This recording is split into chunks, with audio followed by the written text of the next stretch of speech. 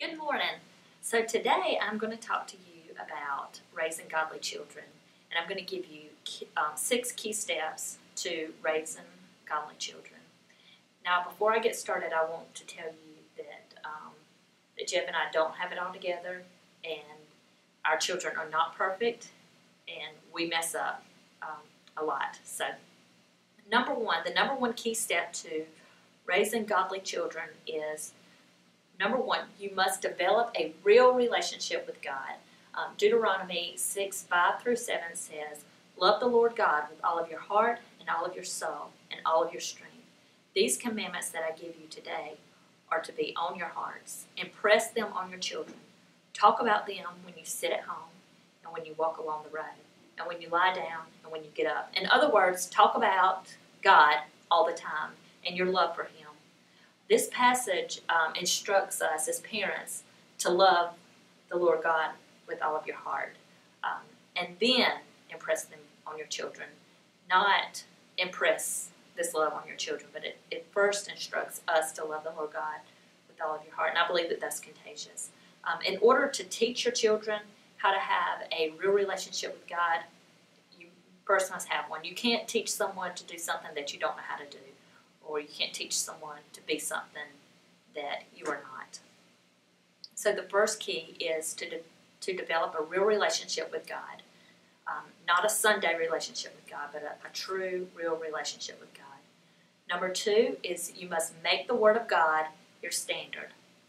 There's a lot of people that have a lot of opinions about a lot of things, but the only opinion that should really matter is God's opinion on things. Um, over the years, um, our standards as a society, they have drifted, um, they've changed quite a bit, they've lessened, and we use the standard.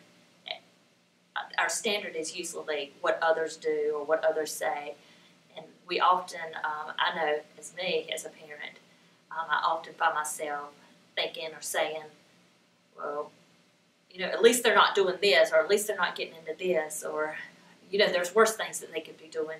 But God's word should be um, should be our standard, not what um, what other people are doing or what other people are allowing their children to do.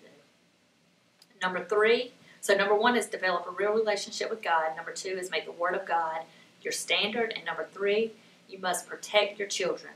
Protect your children. Protect them from the world.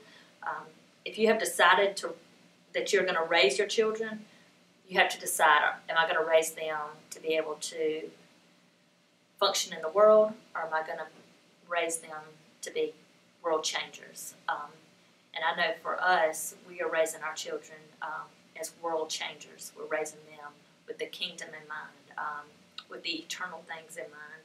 So it can't be both. You can't um, raise your children to um, to be a part of the world. You have to raise your children to change the world. So it cannot be both. Um, you have to protect them from the media. This includes TV, music, radio.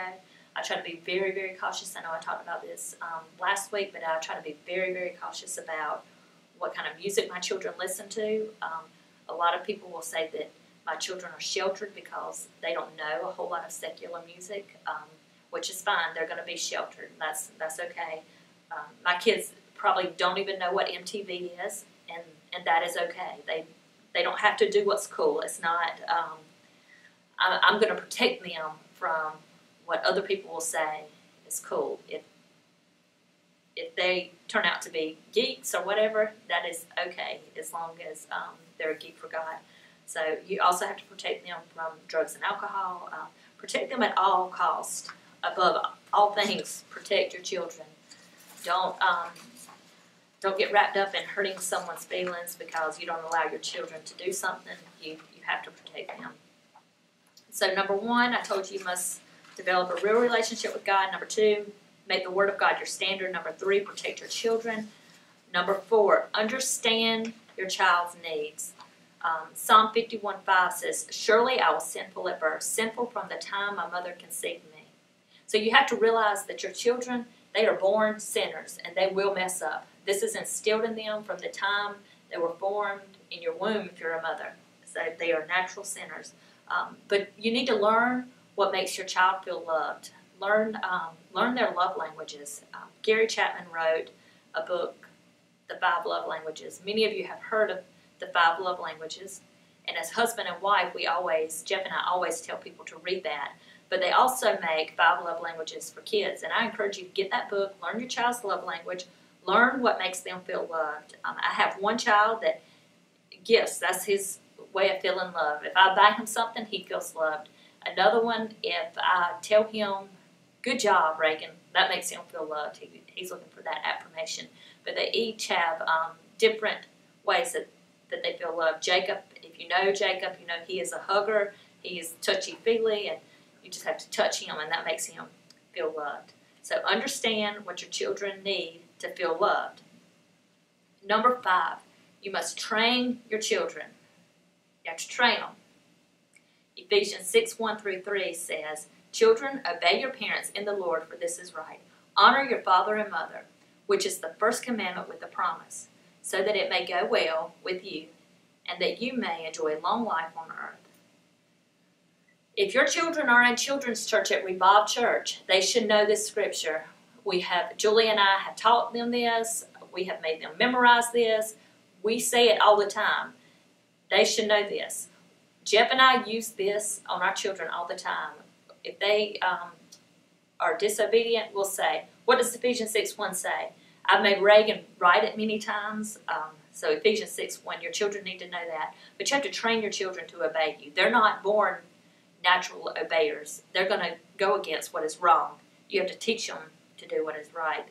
Uh, sometimes if you'll look at a child and they're making a certain expression and you'll say, that looks just like your mama, or that looks just like your daddy, or you're acting just like your grandma, it's because they are trained on how to act. So you have trained your children, whether you um, know it or not, or whether you mean to or not, you are training them. So you want to train them to do right. If they see you pull up to the stop sign and take some money out and hand it to a homeless person, you are training them to do that. That is going to be natural to them, and that's what they're going to they're going to do. So if you're generous, you're going to teach your children to be generous. If you're selfish, you're going to teach your children to be selfish. Um, if you're nice, you're going to teach them to be nice. If you're rude, you're going to teach them to be rude.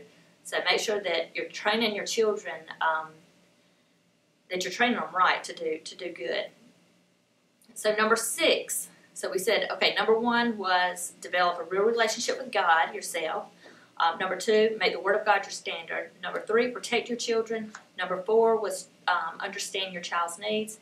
Number five, train your children. And number six, bless your children. Um, don't leave your children like Esau in Genesis 27, verse 34. It says, When Esau heard his father's words, he burst out with a loud and bitter cry and said to his father, Bless me, me too, my father. So he was begging for his father to bless him. Don't make your children beg you to bless them. Um, Jesus blessed the children, and Jesus valued children. And I really don't think that Jesus valued anything that wasn't, that he didn't feel was important. If he valued it, then I feel like it was important. Um, in Mark 10, verse 13 through 16, it says, One day some parents brought their children to Jesus so that he could touch and bless them. But the disciples scolded the parents for bothering him. When Jesus saw what was happening, he was angry with his disciples. He said to them, Let the children come to me. Don't stop them. For the kingdom of God belongs to those who were like these children. I tell you the truth, anyone who doesn't receive the kingdom of God like a child will never enter it. Then he took the children in his arms and he placed his hands on their heads and he blessed them. He blessed them because the children were important. You know, a lot of times we say, we call our children little blessings and we say that we're blessed because we have children, but then we don't treat them like they're a true blessing. So make sure that um, that you're treating your children like they're a blessing and you're doing things for them and with them that are a blessing to them. So remember these today. Remember that number one is develop a real relationship with God. Number two, make the Word of God your standard. Number three, protect your children. Number four, understand your child's needs. Number five, train your children. And number six, bless your children.